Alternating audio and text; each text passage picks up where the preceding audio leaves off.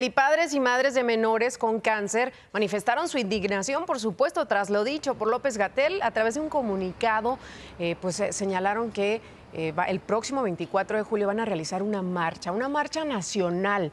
Además, denunciaron que el compromiso de la Secretaría de Salud de surtir medicamentos ayer lunes no se cumplió. Se los habían prometido el sábado, les habían dicho que ya estaban los medicamentos y eso era que no aparecen. Pues hasta el momento, pues como les digo, no ha llegado ni un solo medicamento contra el cáncer para estos niños.